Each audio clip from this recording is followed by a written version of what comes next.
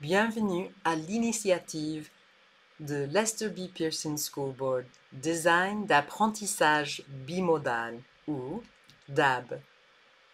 Dans cette première vidéo, on va introduire cette initiative et explorer la question comment se préparer à enseigner avec une approche bimodale. Mais d'abord, on va traiter pourquoi cette initiative.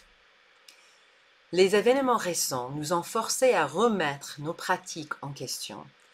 Plusieurs enseignants ont cherché rapidement à trouver des façons plus efficaces de répondre aux besoins de leurs élèves, qu'ils soient dans la salle de classe ou à distance.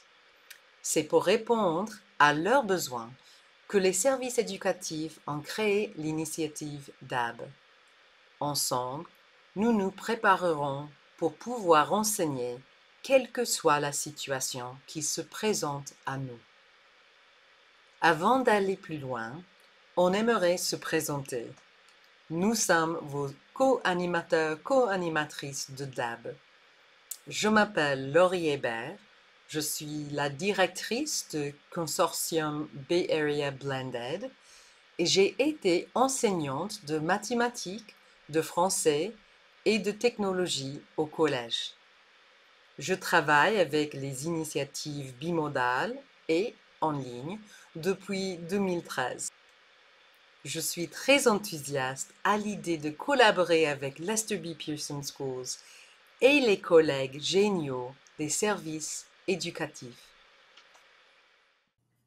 Et moi, c'est Marc-Albert Paquette. Je suis conseiller pédagogique en français langue seconde pour la commission scolaire Lester B. Pearson. Et il me fait plaisir de me joindre à Laurie pour vous présenter ces vidéos.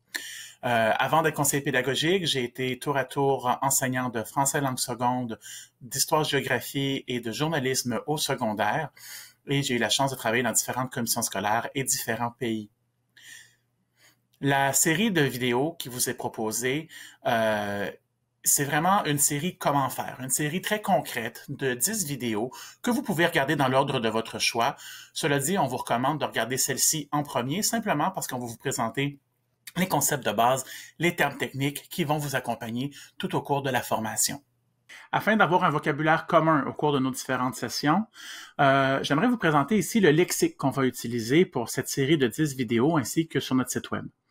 Vous avez d'abord les modalités asynchrones et synchrone. Donc, asynchrone, c'est tout le travail qui est fait en différé. On pourrait penser au devoir, par exemple, au travail qui est fait à la maison, ou ça pourrait être, par exemple, une vidéo que l'élève a regardée avant le début d'un cours. Synchrone, c'est ce qui se fait en temps réel, c'est ce qui se fait en direct, que ce soit en face à face, en personne, ou de façon virtuelle. Il y a ensuite L'environnement numérique d'apprentissage, ça, c'est vraiment l'endroit où on va concentrer nos communications et notre organisation en ligne pour la classe. Des plateformes comme Google Classroom ou CISA sont des exemples d'ENA, d'environnement numérique d'apprentissage. Pour ce qui est des classes en personne versus les classes virtuelles, eh ben, c'est vraiment comme ça le dit. Classe en personne, on est physiquement devant l'élève alors que la classe virtuelle, ce sera le plus souvent une plateforme de visioconférence pour qu'on puisse voir nos élèves, mais à distance, cela dit toujours en temps réel. Finalement, bimodal, quand on parle de bimodal, c'est qu'on parle vraiment de l'amalgame, euh, du mélange de tous ces concepts-là, donc ce qui se fait de façon asynchrone et synchrone, à travers l'environnement numérique d'apprentissage en classe en personne ainsi qu'en classe virtuelle. Il y a plusieurs définitions qui sont possibles. Chez nous, on va choisir de retenir celle-là. Maintenant que nous avons un vocabulaire commun, regardons trois bonnes raisons pour renforcer vos muscles d'ab. D'abord et avant tout, ça vous permet de maintenir la relation avec vos élèves et leur rythme d'apprentissage. Deuxièmement, vous pouvez dynamiser vos pratiques d'enseignement en développant votre boîte à outils et vos compétences. Troisièmement, c'est tellement riche.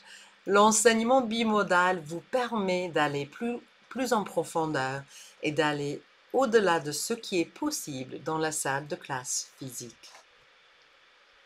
Alors que nous avons examiné à quoi ressemble le DAB pour Lester B. Pearson, nous nous sommes retrouvés à réfléchir à l'analogie d'un mélangeur et comment on peut faire quelque chose de remarquable en mélangeant des ingrédients très simples. Par exemple, vous pouvez faire un savoureux smoothie avec seulement deux ou trois ingrédients de base. C'est également vrai pour enseigner avec une approche bimodale. Notre objectif pour cette initiative est que chacun fasse un smoothie d'ab de base avec des ingrédients communs des résultats uniques. Laissez-moi vous parler de ma recette de smoothie préférée, celle que j'offre à mes amis quand ils viennent pour le brunch du samedi matin. Deux ingrédients de base, des fruits des champs congelés et du lait de soya. Pour le DAB, c'est un peu la même chose, on a deux ingrédients de base. Un environnement numérique d'apprentissage pour l'apprentissage asynchrone et une plateforme de visioconférence pour l'apprentissage synchrone. Les environnements numériques d'apprentissage qui sont encouragés par la commission scolaire sont CISA et Google Classroom, que vous pouvez utiliser ensemble ou séparément. Pour ce qui est des plateformes de visioconférence, on vous encourage à utiliser Zoom et Google Meet. Dans tous les cas, par contre, c'est vraiment à vous de choisir l'outil qui vous conviendra le mieux.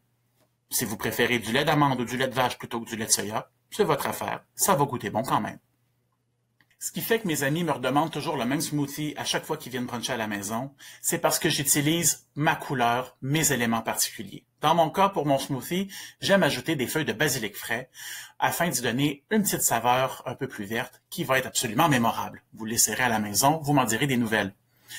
Pour ce qui est du DAB, c'est un peu la même chose. Vous voyez ici qu'il y a toute une sélection d'outils complémentaires que vous pouvez utiliser qui vous permettra d'assaisonner votre DAB à votre saveur, à votre couleur. Si vous voulez faire des vidéos captures d'écran, vous pouvez utiliser des outils comme Loon ou Screencast-O-Matic. Si vous voulez ludifier votre classe, vous pouvez utiliser des plateformes de jeux en ligne comme Kahoot ou Quizlet. Il y a plein de choses à découvrir et ce qui est intéressant de savoir, c'est que même si les plateformes ne sont pas conçues originalement en langue française, vous pouvez totalement vous en servir pour des cours enseignés en langue française ou carrément des cours de français. Il ne me reste plus qu'à vous remercier d'avoir participé à cette première séance, d'avoir consulté cette première vidéo. Au nom de Laurie et de moi-même, on vous remercie de votre participation et de votre présence et on vous invite à regarder les neuf vidéos qui s'en viennent dans cette collection-là. On espère que vous pourrez en tirer le meilleur pour votre salle de classe. Bon visionnement.